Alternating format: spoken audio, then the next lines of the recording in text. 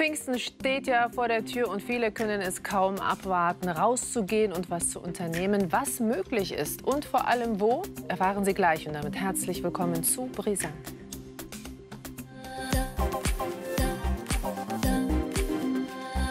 Ist leider keine Seltenheit, dass Einsatzkräfte angegriffen werden, liebe Zuschauer. Aber was heute Morgen im hessischen Dietzenbach passiert ist, war nicht erwartbar. Bis zu 50 Männer zündeten auf einem Parkdeck mehrere Mülltonnen und auch einen Bagger an. Und als die Polizei anrückte, wurde sie bereits erwartet. Gleich bei uns Pfingsten und Corona. Deutschland ist zwischen Vorfreude und Anspannung. Denn schönstes Wetter wird ja erwartet. Freizeitparks öffnen und was man noch so tun kann, reden wir gleich darüber in wenigen Momenten bei uns. Zu unserem nächsten Thema. Gab es Frühwarnzeichen? Hätte man den Tod der dreijährigen Greta in Viersen verhindern können?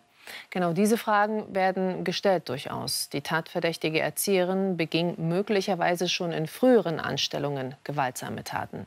Unverständlich für viele, warum sie immer wieder dann eine Anstellung bekam.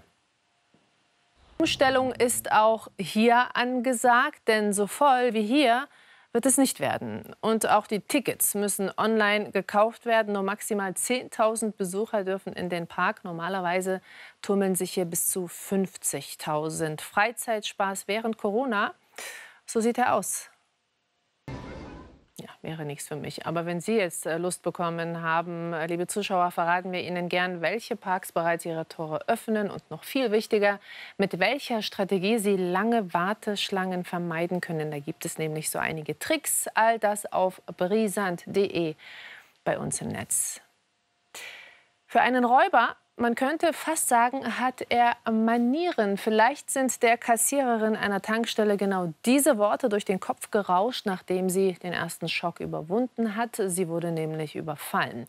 Auf eine ganz besondere Art und Weise.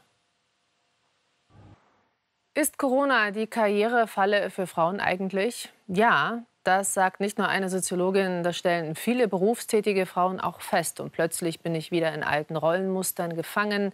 Der Mann macht draußen Karriere und ich bin zu Hause und kümmere mich um Haushalt und Kind.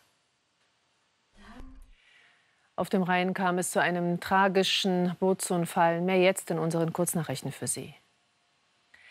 Und was beim Gesundbleiben helfen kann, da werden Sie jetzt vielleicht staunen. Eine aktuelle Studie hat nämlich herausgefunden, dass Cannabis einer Corona-Infektion vorbeugen könnte. Mehr Infos dazu haben wir für Sie im Netz auf brisant.de zusammengestellt. Und jetzt wird es prominent bei uns und wir beginnen royal und auch mit sehr intimen Einblicken.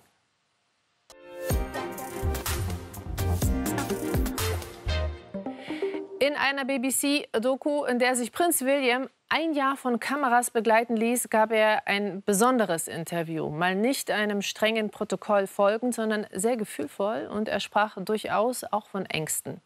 Der frühe Tod seiner Mutter Diana, ein Trauma, mit dem er bis heute zu kämpfen hat. Prinz William erleben wir nicht in der Rolle als zukünftiger König, sondern als Sohn und Vater, der schonungslos ehrlich ist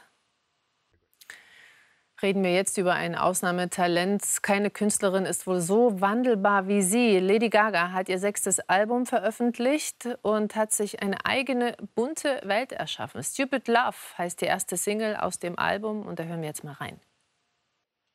Und apropos Wolke, wenn ich über den Wolken sage Liedermacher, eine Stimme, die eindringlich weich ist, dann klingelt es bei vielen, oder? Die Rede ist von ihm hier, von Reinhard May natürlich. Und man kann durchaus sagen, dass er mit seinen 77 Jahren zum Urgestein der deutschen Liedermacher gehört. Seit 1967 veröffentlichte er mehr als 60 Alben mit Songs auf Deutsch, Französisch, Niederländisch und auch Englisch.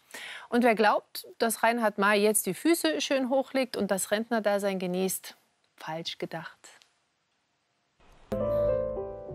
Wunderschöner Song. Es geht weiter jetzt bei uns mit noch mehr Promi-News.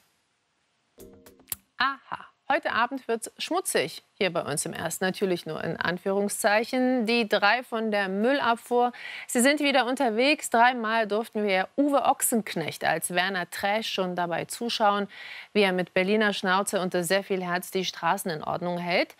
Jetzt gibt es zwei neue Folgen. Da geht es ordentlich zur Sache, kann man sagen. Und Uwe Ochsenknecht haben wir übrigens auf Mallorca besucht. Er hat ja aktuell, wie viele andere, gerade Drehpause. Und morgen gratulieren wir einer Hollywood-Legende zum Geburtstag. Clint Eastwood wird 90 Jahre alt. Mit Italo-Western feierte er seinen Durchbruch. Als Dirty Harry wurde er unsterblich und zur Ruhe gesetzt hat er sich noch lange nicht. Es lohnt sich auf alle Fälle, morgen einzuschalten. Das war's schon von uns. Vielen Dank Ihnen fürs Zuschauen und morgen 17.10 Uhr erwarte ich Sie dann hier bei Brisant. Schönen Abend. Ciao.